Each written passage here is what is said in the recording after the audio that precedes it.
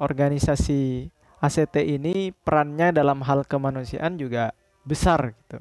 Maka hal yang paling efektif yang menurut saya bisa dilakukan adalah dengan memperbaikinya, bukan dengan cara membubarkan. Kalau kemudian membubarkan menjadi solusi, maka saya bisa tarik pada analogi berikut ini. Contoh saja rumah sakit gitu ya. Rumah sakit.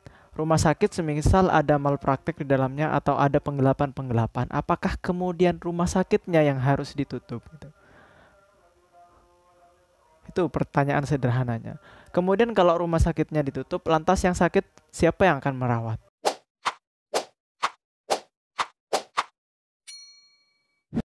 Assalamualaikum warahmatullahi wabarakatuh Kembali bersama saya Edi Puranto Tentunya tetap di channel kesayangan Anda Edi Puranto Satria Naga Masih dari sudut netral Saya ingin membahas Tentang isu yang berkembang Dan ya beritanya sudah cukup viral Kalaupun saya tidak mengangkat tema ini Sudah banyak juga toh yang membahas tentang ini Maka sekalian saya ingin membahas Tentang ACT Aksi Cepat Tanggap Yang ada dugaan kemudian penyelewengan. Pertama, langkah yang harus dilakukan terkait dengan perlukah untuk kemudian ACT ini dibubarkan ya. Karena dugaannya selain juga pe, penurunan apa namanya? penyelewengan dana juga ada dana yang bocor ke organisasi-organisasi Islam yang ekstrim gitu. Begini tanggapan saya. Pertama, tidak bisa dipungkiri organisasi ACT ini perannya dalam hal kemanusiaan juga besar gitu. Perannya juga hal besar. Maka hal yang paling efektif yang menurut saya bisa dilakukan adalah dengan memperbaikinya dengan cara memperbaikinya bukan dengan cara membubarkan. Kalau kemudian membubarkan menjadi solusi, maka saya bisa tarik pada analogi berikut ini. Contoh saja rumah sakit gitu ya. Rumah sakit rumah sakit semisal ada malpraktik di dalamnya atau ada penggelapan-penggelapan, apakah kemudian rumah sakitnya yang harus ditutup? Gitu. Itu pertanyaan sederhananya. Kemudian kalau rumah sakitnya ditutup, lantas yang sakit siapa yang akan merawat? Kan seperti itu kan. Maka langkah yang paling efektif adalah perbaiki apa yang salah dari rumah sakit tersebut. Sehingga kemudian rumah sakit tersebut masih bisa memberikan manfaatnya gitu membuat orang-orang itu menjadi sehat kembali dalam hal pengobatan. Kalau uh, analogi ini ditarik kepada kasus ACT gitu. Ketika terjadi penggelapan dana semisal dan lain sebagainya gitulah entah itu lari ke mana ini dugaannya karena masih dalam proses penyelidikan. Ya sudah gitulah perbaiki saja sistemnya. Karena tidak bisa dipungkiri banyak orang-orang yang kemudian bermanfaat gitu atau merasakan manfaatnya dari ACT ini.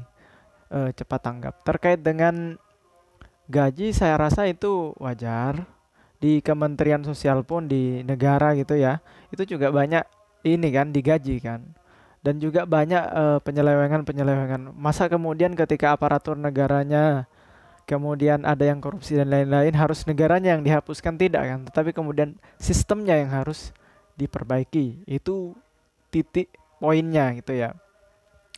Terkait dengan gaji ya ya boleh-boleh saja digaji. Tapi kalau kemudian gajinya ter fantastis terlalu besar juga kan.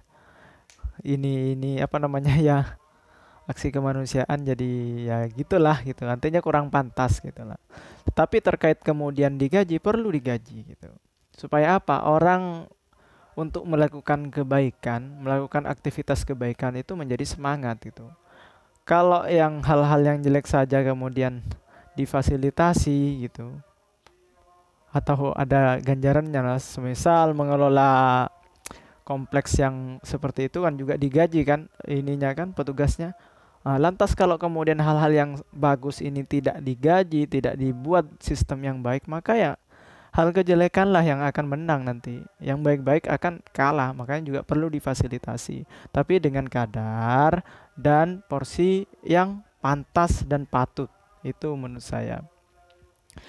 Kalau hal soal penyelewengan uh, atau kemudian ada oknum di dalamnya yang uh, yang bergerak itu di sisi mana pun itu tetap ada, mau di kalangan negara, mau di kalangan pesantren, mau di kalangan uh, aksi eh, apa namanya lembaga wakaf atau donasi dan sebagainya itu mesti ada. Bukan berarti kemudian uh, apa namanya organisasinya atau lembaganya yang harus dihapus. Terkecuali memang ide dasar atau pokok daripada organisasi itu memang uh, tidak baik gitu. Tujuannya memang tidak baik. Tetapi kalau kemudian tujuannya sudah baik, kemudian visi misinya sudah baik, akan tetapi persoalan teknis persoalan teknis dan manajemen yang kurang baik, maka ya perlu teknis dan manajemennya itu saja yang diperbaiki. Nah, memang betul karena donasi yang dikumpulkan di ACT itu itu dari umat gitu memang sudah sepantasnya diawasi. Karena kalau nggak diawasi juga akan kehilangan kontrol gitu. Kalau sudah tidak ada kontrol itu juga berbahaya. Merasa aman-aman saja melakukan sesuatu hal. Memang perlu ada sinergi di sini. Ada sinergi antara pemerintah dan juga eh, lembaga-lembaga sejenis ACT ya, agar kemudian bersama-sama dipantau.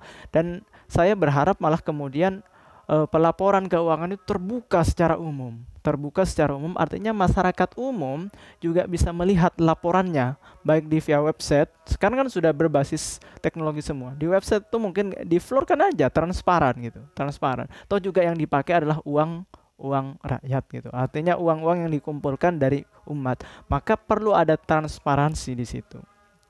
Itu saja yang dapat saya katakan. Kalau persoalan ada sesuatu hal yang yang tidak sempurna mesti itu ada. Dan mari kemudian ketika memang lembaga itu bermanfaat dan banyak orang-orang yang terbantu di sana ya kemudian jangan lembaga yang dihapus. Tapi bagaimana kemudian uh, oknum-oknum atau celah-celah yang bisa merusak menggerogoti hal-hal yang baik inilah yang harus kemudian kita perbaiki. Itu saja dari saya. Jika ada sesuatu hal yang salah saya mohon maaf gitu ya karena tidak mungkin ada manusia yang sempurna, pasti ada kesalahan gitu ya. Yang terpenting adalah kemudian bagaimana merubah hal tersebut. Oke, masih salam dari sudut netral. Terima kasih. Assalamualaikum warahmatullahi wabarakatuh.